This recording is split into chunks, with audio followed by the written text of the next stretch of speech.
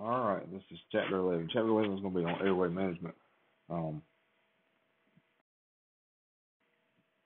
in this chapter, we will apply knowledge, fundamental depth, fundamental foundational breadth of upper airway anatomy and physiology to patent assessment and management in order to assure a patient airway adequate mechanical ventilation and respiration for all patients. And always, okay. Um,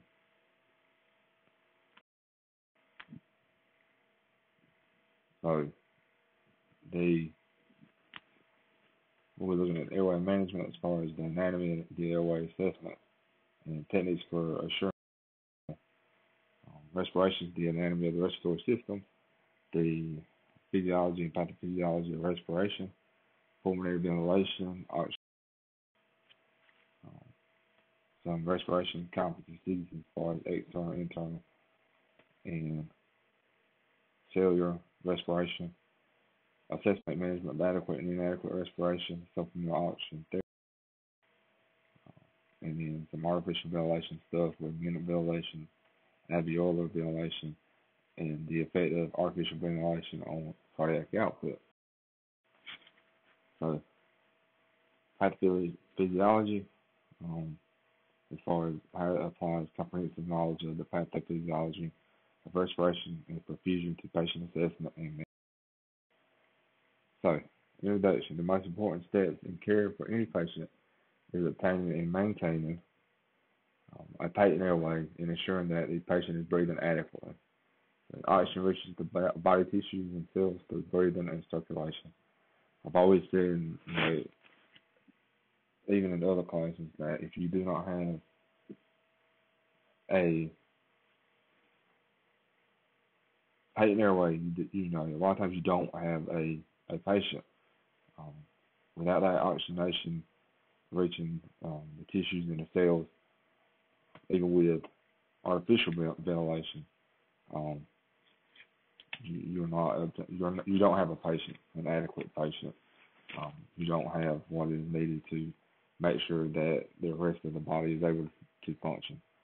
So you always needed to make sure that the airway is secure and, and somewhat patent somehow, whether that is with um, supplemental devices or actually taking uh, um, over that airway. So the airway is divided into the upper and lower airways. Um, structure facilitating oxygenation and ventilation includes the diaphragm, muscles of the chest wall, accessory muscles um, of breathing, uh, and nerves from the brain and spinal cord to those muscles. So ventilation is the exchange of air between the lungs and the environment. Um, so you get you you have to have the diaphragm um, to help um, move those muscles of the chest wall. Sometimes you need accessory muscles, so but, um, such as abdominal muscles, um, neck muscles, for breathing. Then those nerves from the brain to and the spinal cord to those muscles must be intact. So,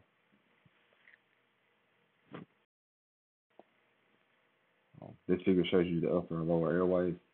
Um, you got the upper airway with the nasal um, pharynx, the nasal passages, the pharynx, oropharynx, mouth, epiglottis, the larynx. You got the apex of the lung of the lungs at the top with the trachea going down it bifurcates into the um, bronchioles. Um, you know, you will learn that the right is a little bit straighter than the left side is. Um, then you got down into the main bronchioles, um, and then down into the base of the lungs and the capillaries and alveoli. And you see the diaphragm down here at the bottom that helps those lungs rest and gives them structural support. And the major functions of the upper airway are to warm, filter, and humidify the air into the body. Um, the pharynx is composed of the nasopharynx, the oropharynx, and the um, laryngopharynx. So The nasopharynx is um, formed by union of facial bone.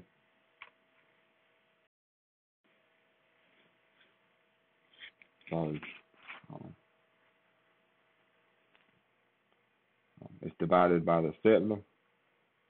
It's lined with the ciliary mucosal membrane.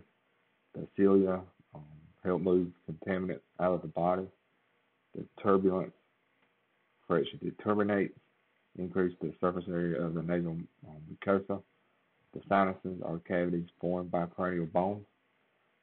The fractures of certain sinus bones may cause a leakage of CSF into the nasal passageways and um, arterial canal. These tissues of the nasopharynx are extremely delicate and highly um, vascular, um, which you know should explain a lot with the so I'm trying to talk about this PowerPoint slide with the um, one so that you could see it as I was talking about it.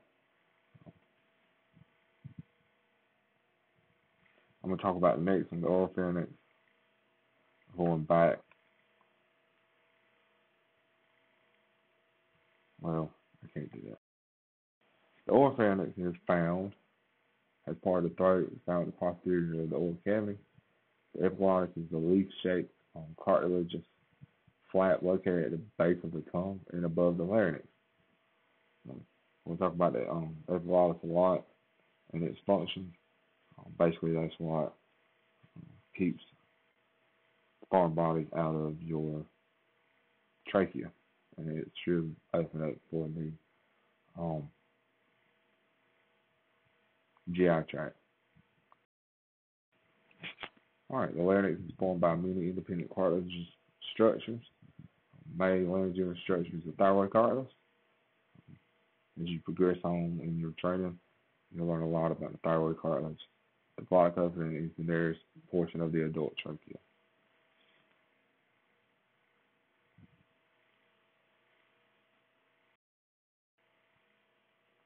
All right, the lower airway. Function of the lower airways to exchange oxygen carbon dioxide. Um, the external boundaries are the fourth cervical vertebrae in a xiphoid process. So the trachea is the conduit for air entry into the lungs. When the trachea reaches the thoracic cavity, it divides at the level of the carina. The lungs include the smaller bronchi, bronchioles, and the alveoli. I mean, I'm going to flip over to the next um, slide so that you can see this as I'm talking about. So you can see the trachea um, and where it divides or bifurcates at the carina. Um, so each bronchius divided into small bronchi, which are divided into bronchioles. Bronchioles are thin, hollow tubes made of smooth muscle. Um, smaller bronchioles branch into alveolar ducts that end in the alveolar sac. The alveoli are the functional site for exchange of O2 and CO2. Um, oxygen diffuses through the lining of the alveoli into the pulmonary capillaries. So the surfactant lines the alveoli. This is what decreases surface tension and helps keep the alveoli expanded. In the amount, if the amount of surfactant is inadequate or the alveoli are not inflated, the alveoli collapse, which results in um, hardening of it. Active cases, I think is how you say that. So between the lungs is a space called the mediastinum, which is surrounded by tough connective tissue. This contains the heart, the great vessels, the esophagus, the trachea, and the major bronchi, and many nerves.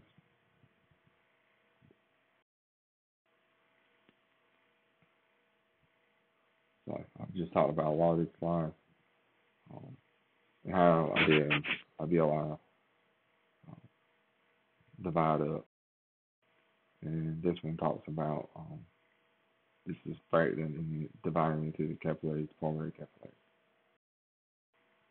Right between the lungs is the mediastinum, surrounded by tough um, connective tissue. The phrenic, phrenic nerve innervates diaphragmatic muscle allowing it to contract.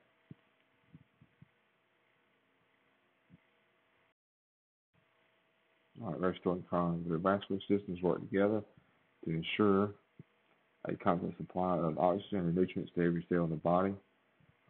It also ensures that CO2 and waste products are removed from every cell in the body, and sufficient levels of external ventilation and perfusion are required to deliver adequate amounts of oxygen to the tissues of the body.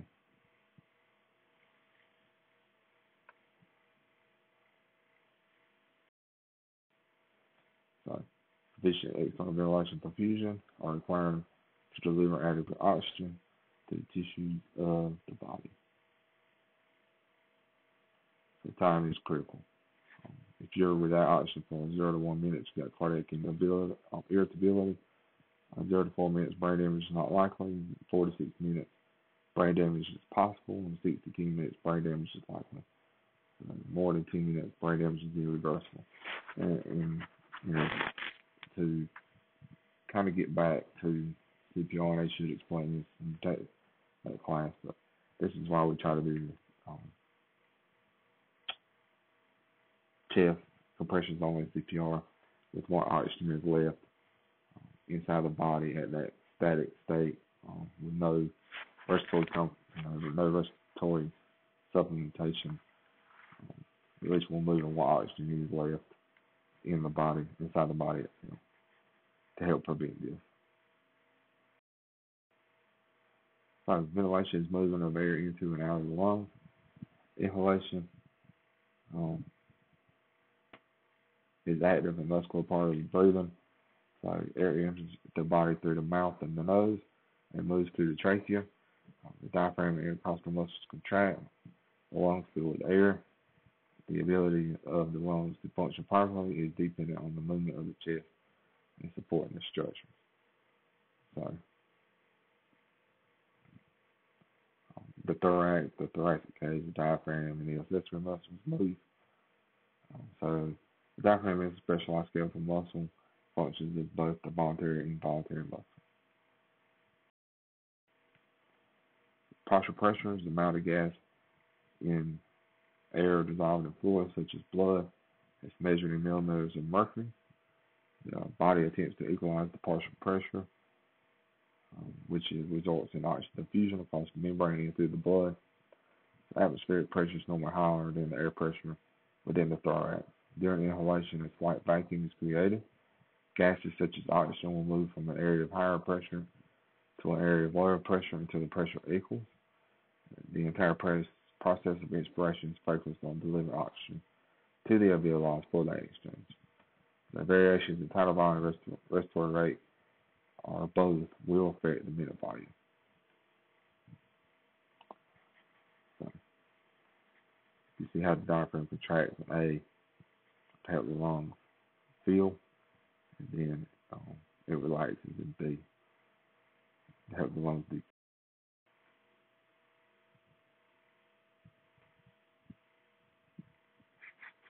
right, exhalation does not require muscular effort. Um, it's a passive process so Hamburg reflex is a feedback loop that prevents overexpansion of the lungs by terminating um, inspiration. Okay, so that's what tells your body, hey, it's time to exhale. Um, while you know you're. Relaxation of diaphragm and the intercostal muscles increases intracoronary pressure. Um, when the size of the thoracic cage decreases, um, area in their lungs is comprised into a smaller space, increasing air pressure. Maximum expiration occurs when diaphragm and intercostal muscles relax, and air is exhaled, exhaled forcefully as opposed to normal passive process. The regulation of ventilation involves a complex series of receptors and feedback loops. Loops. The drive of breath is based on pH changes in the blood and CSF. When oxygen levels in a healthy person, when oxygen level rises, the respiratory center suspends respiration until a rising CO2 level stimulates the respiratory center. So CO2 always stimulates respiration.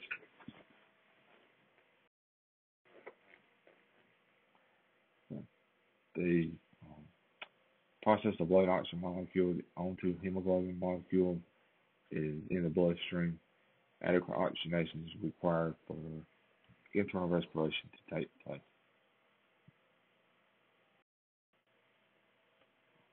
External respiration is a process of breathing fresh air into the respiratory system. Uh, it then exchanges the CO2 and O2 between the alveoli and blood in the capillary, pulmonary capillaries. For adequate ventilation does not guarantee external respiration. So hemoglobin molecules pick up fresh oxygen as it crosses the alveolar membrane. All right, internal respiration is the exchange of oxygen and CO2 between the systemic circulatory system and the cells of the body. Aerobic metabolism occurs in the presence of oxygen. Aerobic always, like we talked about before, needs O2. So the energy is formed, um, energy in the form of ATP is produced through Krebs cycle, correction, the Krebs cycle, and oxidative phosphorylation.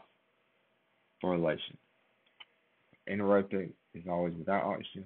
It does not need O2, so it cannot meet metabolic demands of the cell.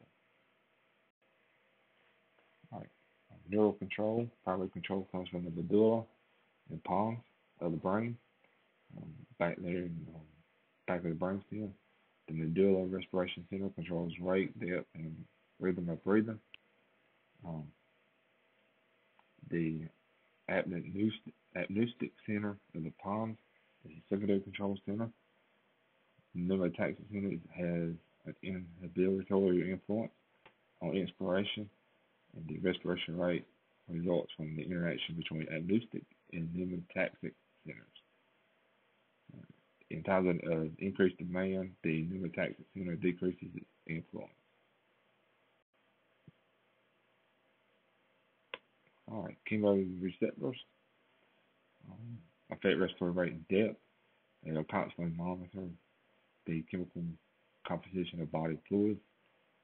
The central chemoreceptors monitor pH in the CSF and are, are located adjacent to the respiratory centers in the medulla. An increase in the CSF triggers the central chemoreceptors to increase the rate and depth of respiration. Chemoreceptors in carotid bodies and the aortic arch measure the amount of CO2 in arterial blood. Chemoreceptors located in the um, same places respond to decrease in partial O2. And when the serum CO2 and hydrogen ion levels increase, chemoreceptors stimulate the dorsal and ventral respiratory groups in the medulla to increase the respiratory rate.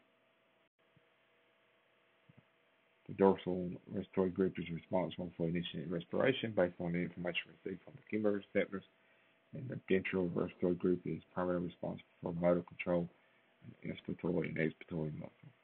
Basically, this gets down into the chemical response and what stimulates um, inspiration to um, take place in um, ex- exhalation. Disruption of pulmonary ventilation oxygenation and respiration will cause immediate effects on the body. So such things as hypoxia is tissue and cells of the body do not get enough oxygen. Hypoxic drive stimulates breathing when the arterial oxygen level falls. And this is less sensitive and powerful than the carbon, carbon dioxide sensors in the brainstem, and it is typically found in end-stage COPD. So this is why we talk about hypoxic drive with COPD. It causes stimulates arterial oxygen levels to fall. Right, early signs of hypoxia include restlessness, irritability, apprehension, tachycardia, and anxiety. Um, usually, this is the onset degree of tissue damage caused by hypoxia depends on the quality of ventilation. late signs include neural stage changes, a weak pulse cyanosis. Responsive patients will report shortness of breath, they may not be able to talk complete sentences. Always administer your O2 before starting symptoms of hypoxia trial here. Ventilation and perfusion must be matched to exchange simple perfusion of gas exchange. Uh, failure to match ventilation and perfusion contributes to most abnormalities in oxygen and carbon dioxide exchange. When ventilation is compromised but perfusion continues, blood pressure is over the alveolar membranes without gas exchange taking place. So the result in inadequate perfusion is less oxygen absorption in the bloodstream and less carbon dioxide blood. Um, many intrinsic and extrinsic factors cause airway obstruction and interruptions in central and peripheral nervous systems affect the ability to breathe efficiently. So, hypercapnia is overall increase in CO2 level in bloodstream. Trauma to the head and spinal cord can also interrupt nervous system control of ventilation. Muscular dystrophy causes degeneration of muscle fibers, slowing motor development and loss of muscle contractility. Patients with allergic reactions may also experience a decrease in pulmonary ventilation from bronchial constriction. Extrinsic factors include trauma from body airway obstruction. So respiratory splinting can result in decreased pulmonary ventilation, hypoventilation, slow breathing. Um, carbon dioxide production exceeds the body's ability to eliminate it. Carbon dioxide elimination is depressed with the extent that no longer keeps up with the norm. Hyperventilation is rapid breathing. Carbon dioxide elimination exceeds carbon dioxide production. Hyperventilation and hyperventilation can represent the body's attempt to compensate for many different factors. factors affecting oxygenation, respiration, external factors, um, such as the attachment of CO molecules to hemoglobin molecules, can cause false pulse readings. Always think about that if you do have a patient that is exposed to carbon monoxide. Um, it mainly comes from propane um, being heating or um,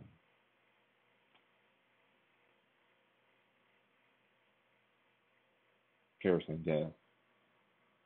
Internal partners, um, conditions that reduce the surface area for gas exchange, such as pneumonia, pulmonary edema, and COPD. Also, you have non-functional alveoli, intrapulmonary hmm, shunting, changes in respiratory rate, pain, and strong emotions, hypoxia, decreased metabolism. Um, some other factors you know, including hypoxia, hypoglycemia, and infection. Um, they, without sufficient glucose, the cells will metabolize fatty acids, increasing ketoacidosis, which increases um, chemical responses uh, to CO2.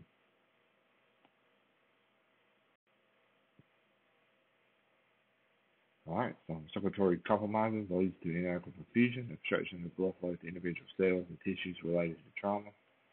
Um, some conditions you may encounter include pulmonary embolism, simple and normal tension pneumothorax, open pneumothorax, hemothorax, and hemopneumos. Other factors in heart failure and cardiac tamponade inhibit the ability of heart to effectively pump. You may have hemorrhagic shock, vasodilatory shock. And especially treat these patients um, to be in shock, so high flow. So, right, acid base divide, um, balances do cause hypo and hyperventilation, and it does cause a shift in the acid base balance, from acidotic or 2 or alkalotic shifts. Now, this may result in rapid deterioration and death. Excess acid um, can be expelled as carbon dioxide from the lungs. So slowing the respiration will increase the level of carbon dioxide. Fastest way to eliminate the hydrogen ions is to create water and carbon dioxide.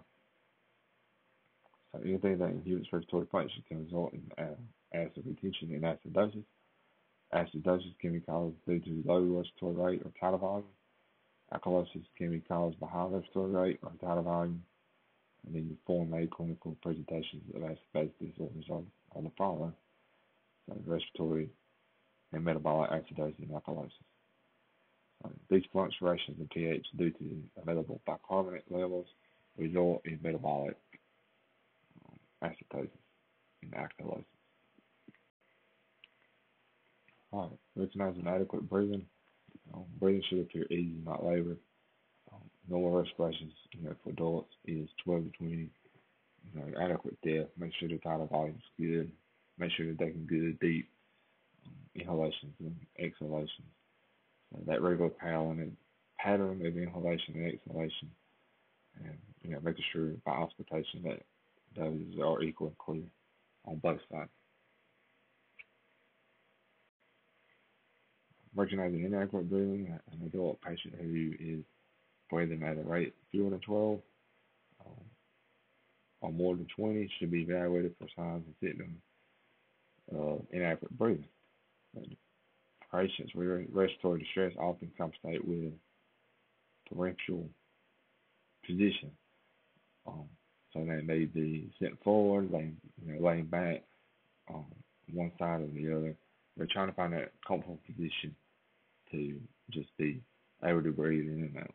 So respiratory stress may be a result of upper and lower obstruction, inadequate ventilation, impairment of respiratory muscles, impairment of the nervous system, so dyspnea, difficulty rest or difficulty respiratory rate, um, or effort.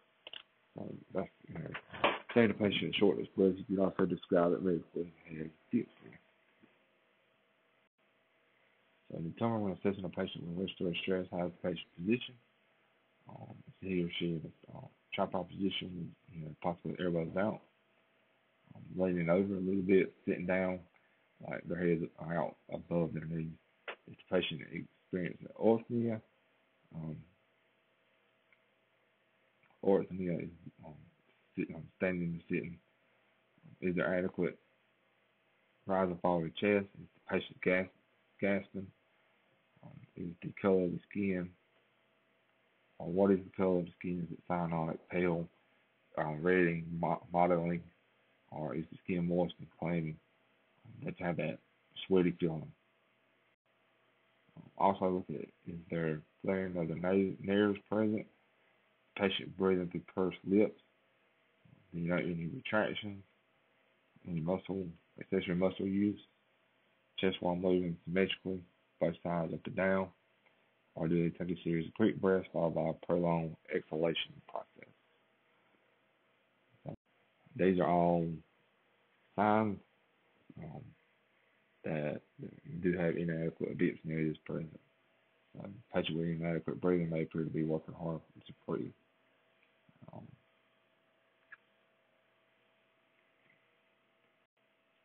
all right, signs of inadequate breathing in adults: respiratory rate fewer than 12 breaths per minute or more than 20 breaths per minute, irregular rhythm, diminished absent or noisy auscultated breath sounds, abdominal breathing, reduced flow of expired air, unequal or inadequate chest expansion. please be mindful of the diminished absence and noisy auscultated breath sounds as they can. We go through and start talking about how to treat these. Um, you want to be able to distinguish between those um, absent um, or just diminished or is there some type of noise that you're hearing?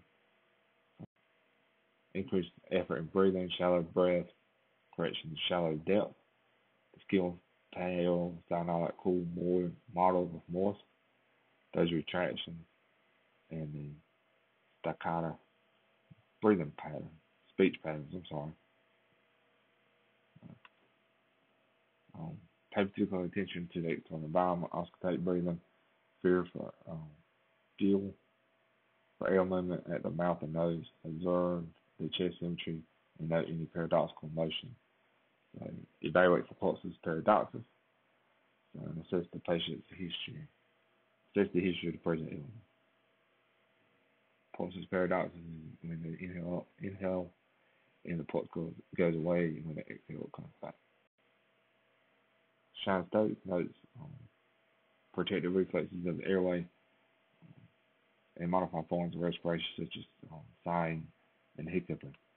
Serious head injuries may also cause irregular ineffective respirations that may or may not have a identifiable pattern. So head injuries will have this sinus um, breathing, where they're take quick little breaths in and out. They won't breathe. Quick little breaths in and out. They won't breathe.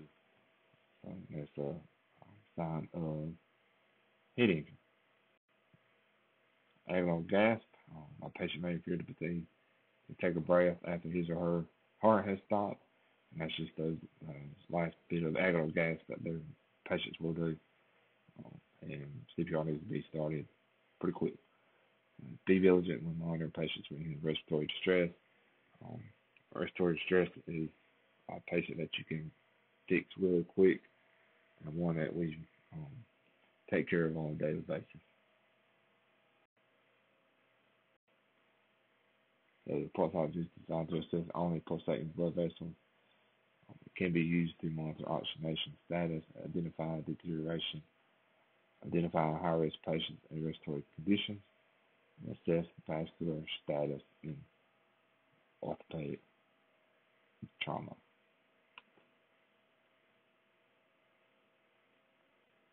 So if you think that somebody doesn't have a orthopedic trauma and put foot down there and they have a break, it could tell you if that vascular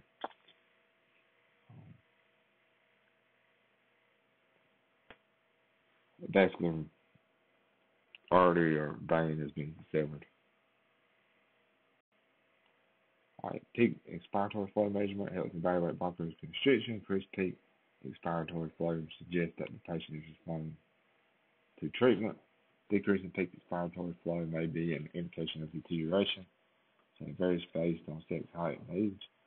And perform at least three times and take the best peak flow rate of the three readings. Onto blood gas analysis is something that has mainly usually done in hospital setting, but just to um, give you an idea of what's going on, provides comprehensive quantitative information about the respiratory system. Normal AGB, ABG values are summarized in table 11.6. And to maintain normal ABG values, a balance between alveolar volume and perfusion of the alveolar capillaries must be maintained. End-tidal CO2 assessment is something that we can do. Um, detect the presence of carbon dioxide in the exhaled air and types of monitors include colorimetric digital and digital waveform, which is all three that we have. Um, so colorimetric carbon dioxide detector provides qualitative information regarding the presence of carbon dioxide in the patient's exhaled breath. So it might give a false reading if the patient has carbon dioxide trapped in the stomach from ingested carbonated beverages. This is usually why we try to do at least two to three breaths maybe you know up to five before we actually put this um, on the end of the tube to see if the color change happens. Sensitive to extremes of temperature and humidity. Um,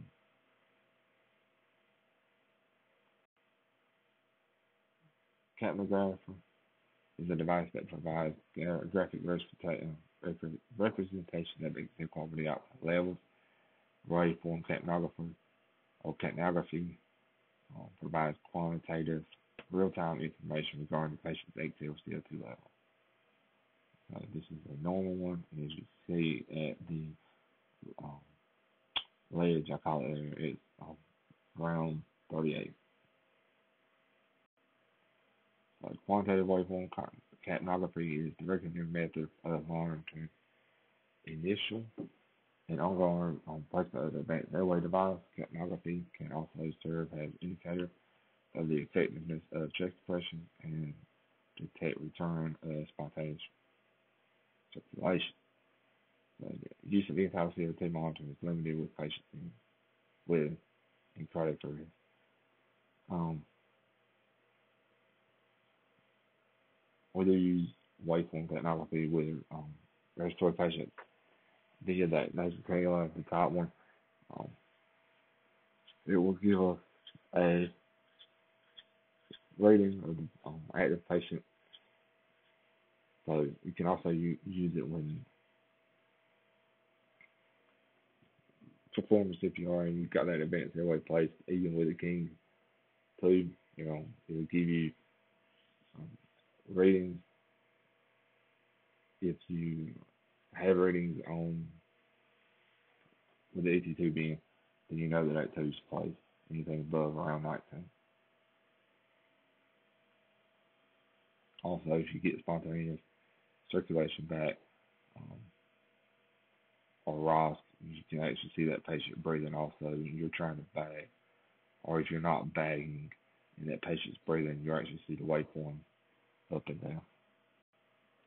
So the open airway it says the breathing patient needs to be in supine position, uh, ensuring that um, they do have that open airway. Um, the head tilt chin lift maneuver positioning patients. These are for patients who have, not sustained um, trauma. This is sometimes all that is needed for the patient to receive breathing, just because of the obstruction, maybe of the tongue or something else. Um, to perform a head tilt lift maneuver, follow these steps. Um, put the patient in supine position, place yourself beside the patient's head, and place the other head of one hand on the patient's forehead and apply firmly backward pressure with or palm to tilt the patient's head back. Place the fingertips of your other hand under the patient's chin, lift the chin upward, bring back the entire jaw with it, and helping to tilt the head back. Loose lift so that the teeth are nearly brought together, but avoid closing the mouth completely. So to continue to hold the forehead and maintain the backward tilt of the head. Jaw thrust maneuver is the method um, if a cervical spine injury is suspected. Um, kneel above patient's head, place fingers behind the angles of the jaw, lower jaw, and move the jaw upward, using your thumbs to help position the lower jaw to allow breathing through the mouth and nose. This completed maneuver should open the airway with the mouth slightly open with a jaw jutting forward. Alright, to open a tongue jaw lift maneuver, use to open the airway for uh, oral pharyngeal suctioning cannot be used to ventilate a patient because it does not allow for adequate mass seal to perform the tongue jaw lift maneuver. Follow these steps. Position yourself at the patient's side. Place the hand hand closest to the patient's head on the forehead. With your other hand, reach into the patient's mouth. Hook your first knuckle on the incisors or the gum line while holding the patient's head and maintaining the hand on the forehead. Lift the jaw straight up. All right, place the patient in the recovery position if they're breathing on his or her own at a normal rate with adequate tidal volume. Um, so, that does not, and these patients do not have a traumatic injury. Okay, so just roll the patient onto their side so that the head, shoulders, um, and torso move at the same time without twisting. Place the patient's forearm and upper hand under his or her cheek after the patients have resumed spontaneous breathing and to be resuscitated, the recovery position will prevent aspiration of vomit. So basically, you're allowing these patients to vomit um, out the corner of their mouth in their recovery position. Whereas if they were laying supine and the vomit came up, it would actually have to go back down. So suctioning is first priority. So make sure you got your portable suction unit Make sure it provides vacuum and flow suction uh, from the mouth and the oral pharynx. If you hear gurgling, be prepared to suction. I always try to um, make sure suction is readily available in any kind of resuscitative efforts or even um, post resuscitation. Make sure that portable suction units do work.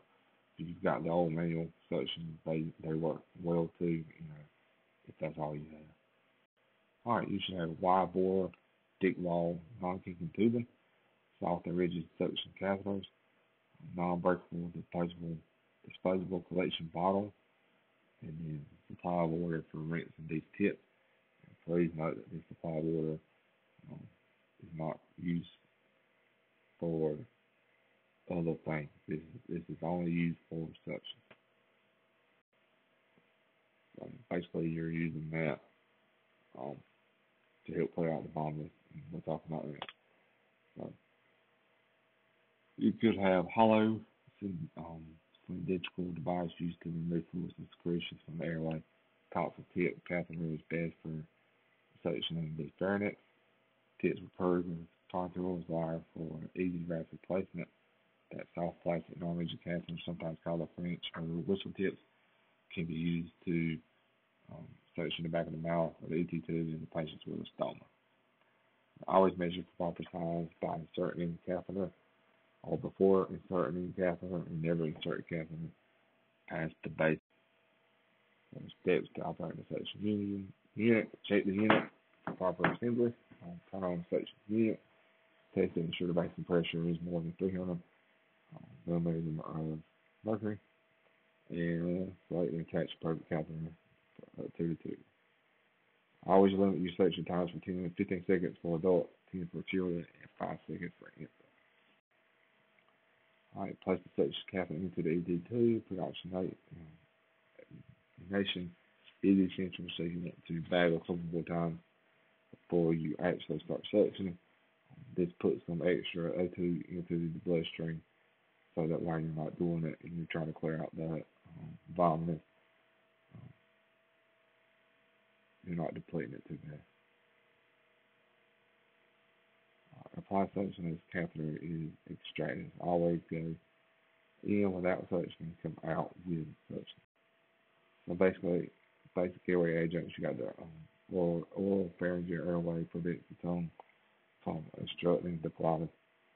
Often used in conjunction with the bag valve mask that basically gets the tongue out of the way. It should be inserted in unresponsive patients with low gag reflex. Nasopharyngeal airways are used in patients with an intact gag reflex and who are able to maintain it, um, but however, in a patient who is unable to maintain the airway. So they may be suffering from an autoimmune status, just had a seizure. Um, can be used in extreme care and trauma patients, but it can cause a stable skull fracture. And it could penetrate um, the back of the brain. So look at even patients who are um, they have an autoimmune status, however, have an intact gag reflex. Contraindication, severe head injury with blood draining from the nose, potentially for basal skull fracture, and then inside and it actually goes into the base of the skull. So history of fracture nasal bone and of this experience. Supplemental oxygen administered to any patient with potential hypoxia oxygen cylinders, check the oxygen cylinder and available for medical oxygen. And that is one good thing to make sure you check. The month and year stamps are important. So, oxygen can reduce pain. Um, the delivery method must be reassessed rested, percolated, adjusted to coil. Um, oxygen cylinders are often made of lightweight aluminum or spun steel. Check the steel cylinder and make sure it's labeled. So, the length of time you can use the oxygen cylinder depends on the pressure in the cylinder's flow rate.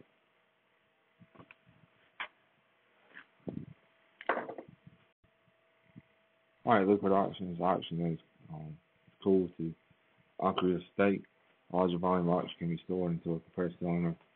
Um, containers do not need to be filled as often.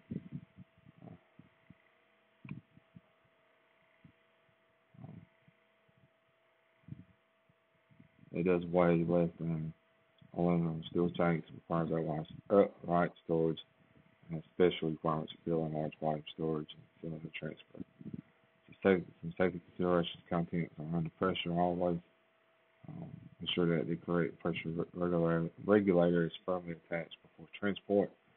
A puncture hole in the tank can cause the cylinder to become a deadly missile. And do not handle a cylinder by the neck assembly alone. Um, Cylinder should be secured with mounting brackets. Contact with the liquid oxygen should be prevented.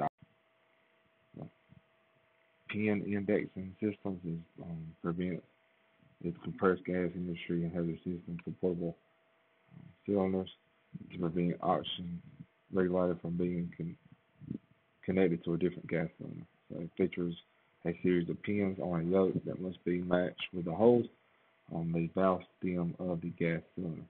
The arrangement of the pins and holes varies for different reasons, gases according to accepted national standards. Each cylinder of a specific gas has a given pattern and a given number of pins. The safety system for large cylinders is known as the American Standard System. Pressure regulators is pressure of gas in a full oxygen cylinder is approximately 2,000 psi. Um, regulation regulators reduce the pressure to a more useful range, usually between 40 to 70 psi. Um, most reduce the pressure in, in a single stage. A two-stage regulator will reduce the pressure first to 700 psi and then to 40 to 70 psi. Final attachment for delivery for delivering the gas to the patient is usually a quick connect female feeding that will set the quick connect male flow from a pressure hose or a ventilator or resuscitator. So a flow meter that will permit the regulated release of gas measured in liters per minute. So basically that just describes it coming from your intake through your lines inside the walls of your inlet into your um, quick connect female um, fitting that's on the side of the wall, and then you have the male connector regulator that um, releases it down to liters per minute.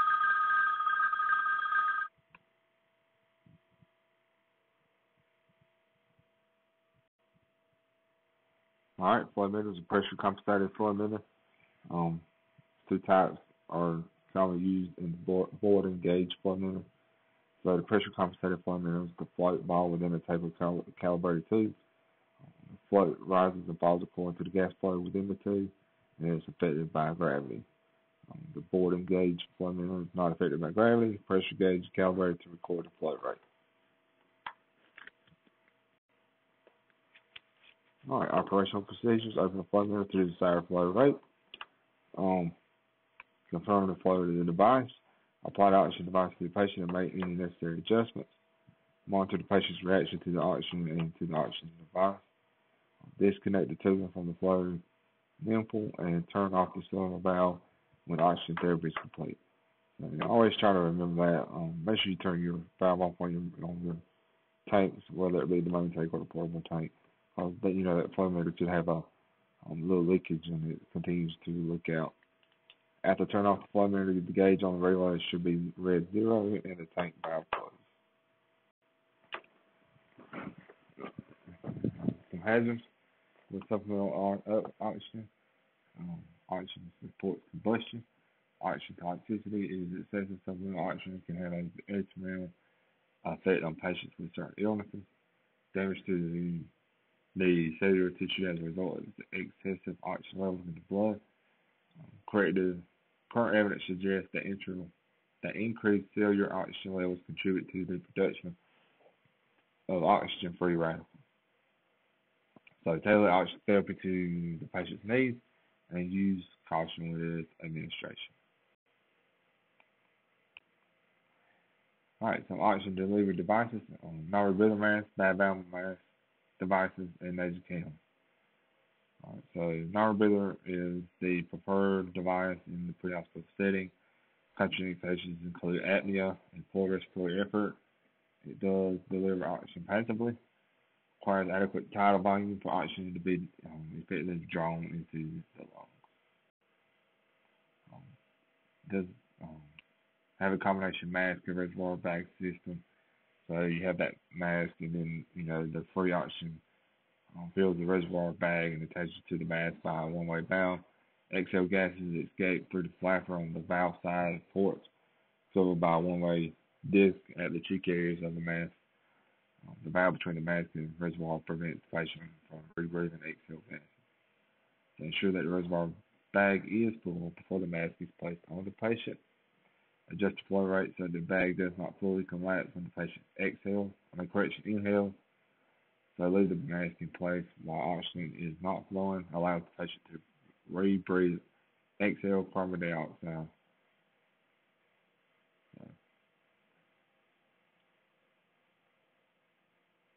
So, Leaving the mask in place while oxygen is not fully allows the patient to rebreathe exhale CO2. So use pediatric mask for infants. Nasal cannula delivers oxygen through two small tube-like prongs that fit in the patient's nostrils. Um, limited use in pre-hospital setting, however, that's um, um, seems to be changing over time. Ineffective for patients with poor respiratory effort, severe hypoxia, apnea, and mouth breathing. They're used for patients requiring long-term oxygen therapy for certain diseases, such as COPD, whose current complaint is unrelated to their respiratory disease. Um, partial rebreathing mask is similar to a non-rebreathing mask, except there is no one-way valve between the mask and the reservoir. Patients rebreathe a small amount of the exhaled air, and it is ideal for patients experiencing hyperventilation syndrome. A Venturi mask is has a number of attachments to vary the percentage of oxygen delivery while a constant flow is maintained. Um, air is drawn into the flow of oxygen as it passes a hole in the line. Medium flow device can delivers 24 to 40 percent of oxygen depending on the manufacturer. The advantages of fine adjustment capabilities for long-term management of patients in physiological state. Tracheostomy mask is a um, patient that does not breathe through their mouth and nose. Um, so especially designed tracheostomy mask cover a tracheostomy hole, have a strap that goes around the neck. If you do have a tracheostomy mask, you can improvise by placing a face mask. Oxygen humidifiers um, usually indicate for long-term oxygen therapy does not dry out the nasal hairs. Um, slow water is reservoirs need. All right, patients with who are not breathing need artificial ventilation and supplemental um, O2, and an irregular breathing pattern will also require artificial ventilation. Signs of automatic status in inadequate minute volume are indications for assisted ventilation. Excessive accessory muscle use and fatigue from labor breathing are signs of potential respiratory failure. Uh, some treatment options for patients in severe respiratory distress or respiratory failure, assisted ventilation, and CPAP. Assisting a patient with ventilation using a bag valve mask device explained the procedure to the patient. Place the mask over the patient's nose and mouth. Squeeze the bag each time the patient breathes. After the initial 5 to 10 breaths, slowly adjust the rate to deliver the appropriate tidal volume. So then adjust the rate and tidal volume to maintain an adequate minute volume. Normal ventilations versus positive pressure ventilation. Uh, artificial ventilations are not the same as normal ventilation. During normal ventilation, the diaphragm contracts and negative pressure in the chest cavity sucks air into the chest. Positive pressure ventilation generated by device forces air into the chest cavity from the external environment. So it can cause the wall of the chest cavity to push out of the normal anatomic shape, this can increase the overall intrathoracic pressure within the chest cavity. The venous blood flow is decreased due to the increased pressure in the chest. The rate and volume of artificial ventilation must be regulated, regulated to avoid over distension of the chest wall. The force generated from positive pressure ventilation causes air to enter not to enter not only in the trachea but also the esophagus, and it does have a potential risk for gastric distension. So, mouth to mouth and mouth to mouth ventilation. Uh, mouth to mouth ventilation is routinely performed with a barrier device that eliminates the risk of unknown communicable diseases and physical, physiological correction and psychological barriers. So mouth to mouth ventilation is performed, places a physical barrier between rescuer's mouth and the patient's mouth. Um, most masks offer a one-way valve to prevent exposure of blood, bodily fluids. Also easier to secure an effective seal with a mask. So a mask with oxygen inlet provides oxygen during mouth to mask ventilation to supplement the air from your own so bag mask device can deliver all as much volume as you squeeze out of the bag by hand. Um, it can deliver nearly 100% O2. Uh, provides less tidal volume than mouth to mask ventilation, but higher concentration, higher O2 concentration. The most commonly used method in the field, difficult field to master because of the seal, and it takes two rescuers to use bag, bag mouth valve on a trauma patient unless an advanced airway has already been inserted. It's most effectively used with supplemental O2 in the reservoir. Depending on the patient's LSD, using oral or nasal airway adjunct in conjunction. It should not be used on any patient who is intolerant of its use. If the patient is responsive breathing, inadequate ventilatory assistance with a bag valve mask will be required to maintain adequate minute volume. So, you know, basically if that patient is able to breathe, you may want to push in some air to help that minute volume. All right. Um, you have that disposable self-fulfilling bag, outlet valve, oxygen reservoir, the one-way non-jam inlet valve system, and transparent face mask. Volume to deliver is based on visible chest rise.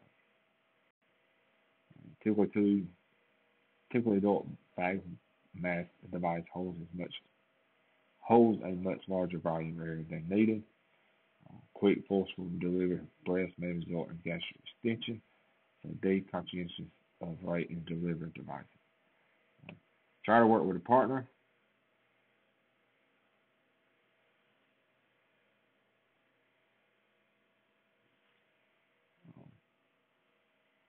three major considerations um, is what I just talked about right there. to use the two-person bag mask device, kneel above the patient's head, maintain the patient's neck in a hyperextended position to open up the airway just slightly so that the air can be um, flowed into the trachea, and not um, as much into the esophagus. Open the patient's mouth and suction sections needed to bring the lower jaw up to the mask with the last three fingers. And here's a picture of how that's done. So hold in place while your par- partner squeezes the bag and sees the patient's chest rise. If you're alone, use the EC clamp method, of gastric extension, changing the risk component to the bag with ventilation and improvement or deterioration.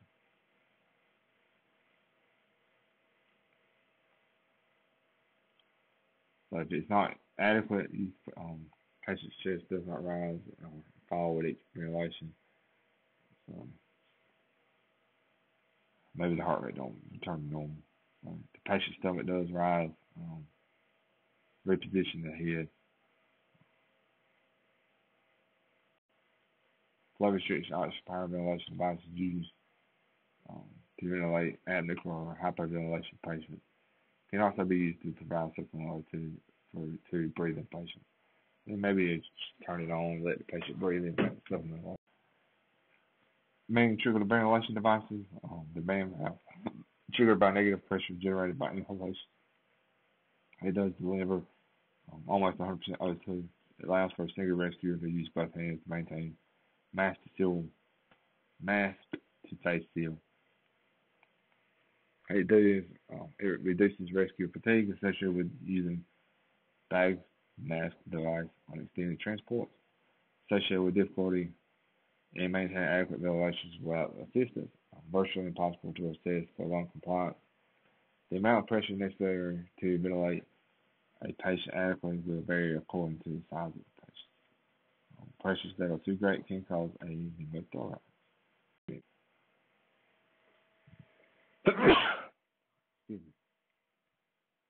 So attach it to a wall-mounted oxygen source. Um, set the ventilatory rate, tidal volume, peak expiratory time as appropriate for patient's condition. Connect the ATV to the 1520 millimeter fitting on the um, in the trachea tube and other advanced airway device. Also take the patient's breath down and observe for equal rise and fall. Most models have adjustments for respiratory rate and tidal volume. Pressure release valve can result in hyperventilation in patients with poor lung compliance, increased air resistance, and airway adjust, adjustments. So they are considered volume cycle rated controlled ventilators. Um, at a fixed rate, it will not cycle in conjunction with the limiting with the timing of chest compression. So, oxygen power, although some models may require external power source, has a parachute relief valve which can result in hyperventilation patients with poor lung compliance. CPAP, um, we're going to talk about this pretty good. So, continuous positive airway pressure. Non-invasive means uh, providing ventilatory support for patients in respiratory distress. So these are used at night um, by people with obstructive sleep apnea. Early invention of CPAP is an alternative means for providing ventilatory assistance. Can prevent the need for um, intratracheal intubation. Um, it increases pressure in the lungs, opens collapsed alveoli, pushes more oxygen across the alveolar membrane, and forces interstitial fluid back into pulmonary um, pulmonary circulation. Okay, so CPAP is just there pushing, pushing, pushing oxygen um, into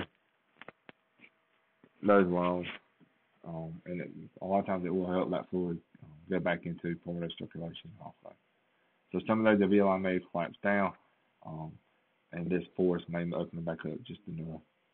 The desired effect is to improve pulmonary compliance and make spontaneous ventilation easier.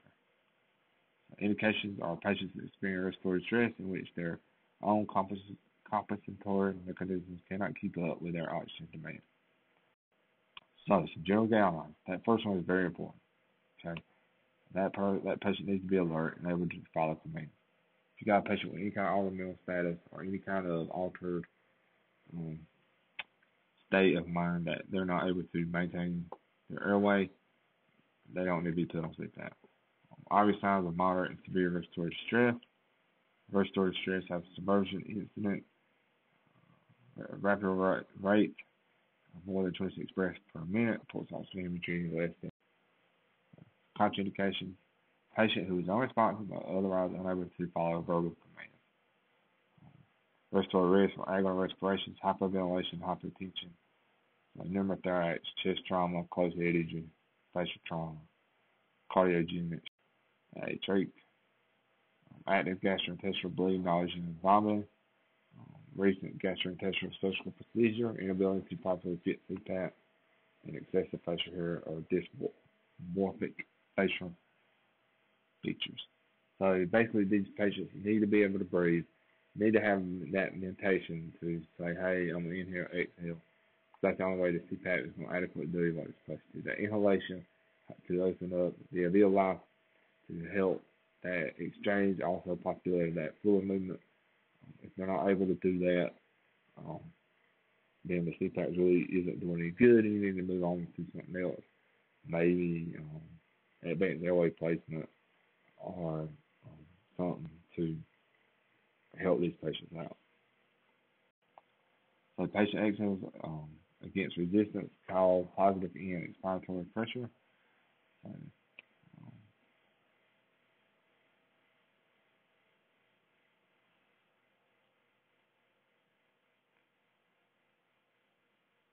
and this is talking about doing it on um, a ventilator. However, we do have some CPAPs that are powered uh, for complications. Some patients find CPAP claustrophobic. There's a way to fix that. Also, it could cause a, a pneumothorax as a result of barotrauma. So it could possibly pop a lung. We are especially careful with those patients with COPD history, um, as it could cause um, trauma. Increased pressure in chest cavity can result in hypertension. Um, if you do have CPAP on, that patient does become hypertensive, just take the CPAP off a lot of times. That'll fix that problem. Gastric distension likely occurs if excessive pressure is used to inflate the lungs, pushes diaphragm upward into the chest. Uh, size of gastric distension increased, increased diameter of stomach, increased length of the and abdomen, increased resistance to the bag mouth ventilation. Um, larynx, laryngectomy, tracheostomy, um, stoma, and trache, tracheostomy tubes. Uh, surgical procedure in which larynx is removed. Procedure is performed by making a tracheostomy create a stoma. Uh, perform with extreme care with the resection in these stomas. Um, to result in hypoxia. Um, sometimes even the slightest irritation of the tracheal wall can result in violent laryngeal spasms. So limit that suctioning of the stomach to 10 seconds at a time. If you have a patient with stoma ventilation is used, mouth to stoma technique or bag mask device. An infant child mask to make an adequate seal of the stoma. Um, two rescues are needed to perform bag mouth device to stoma ventilation.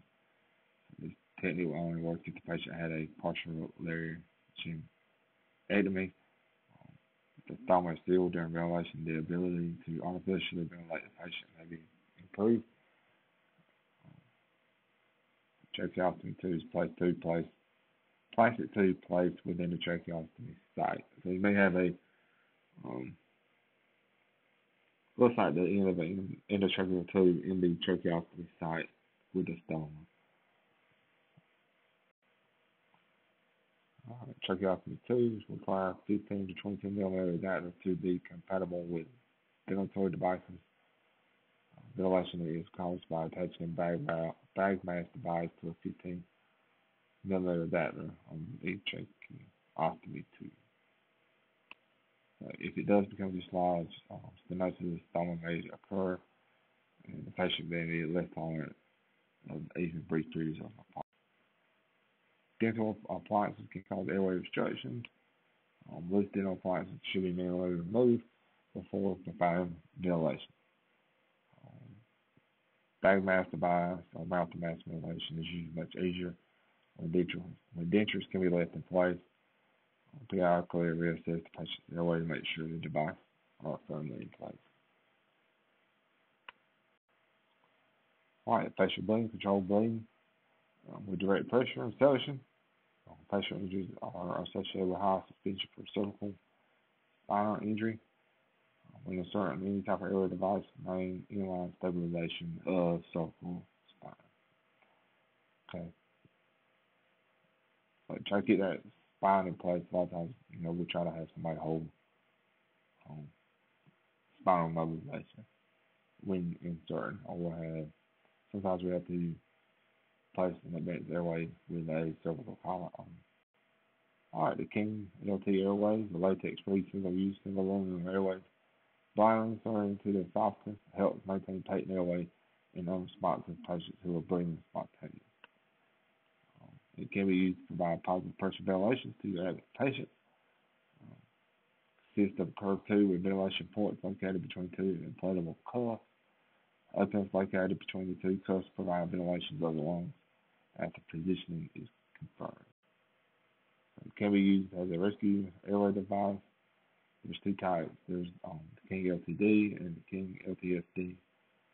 The LTSD is more commonly comes in seven sizes. The distal end of the D is whereas the distal end of the LTSD is open. So, alternative bag mask ventilation when a rescue device is required for failed intubation attempt, contraindications include does not protect the airway from the effects of bone and aspiration, and it should be should not be used in patients with an intact scaly reflex.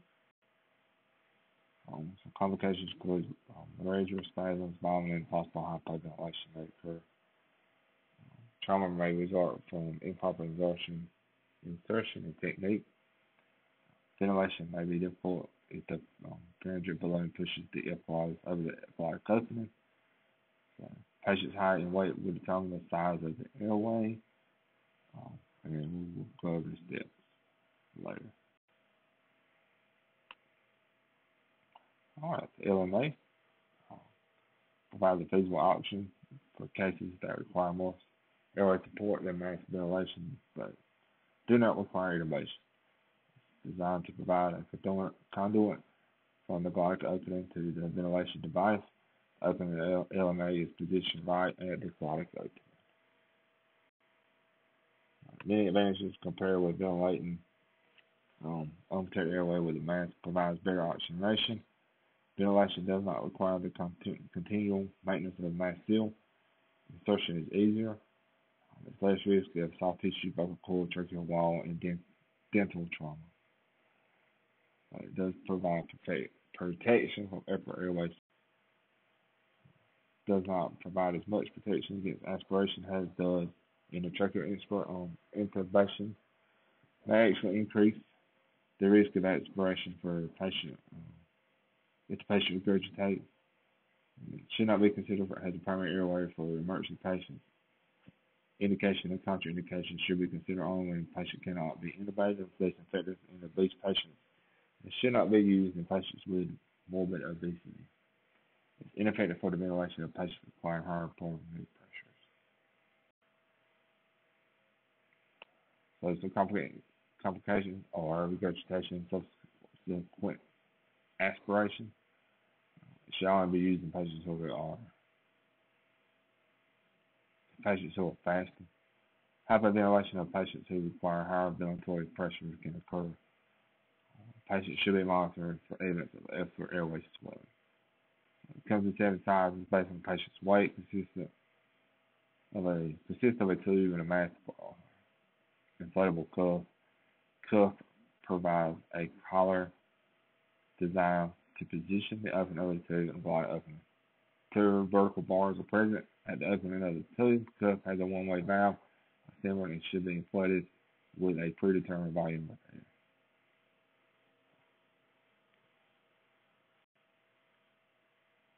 iGel, um, designed to create non-inflatable anatomic seal of pharyngeal, laryngeal, and pre and structures. Color-coded proximal hook rings indicate the size. Okay. Sort of similar to the LMA. Um, and basically, it inflates um,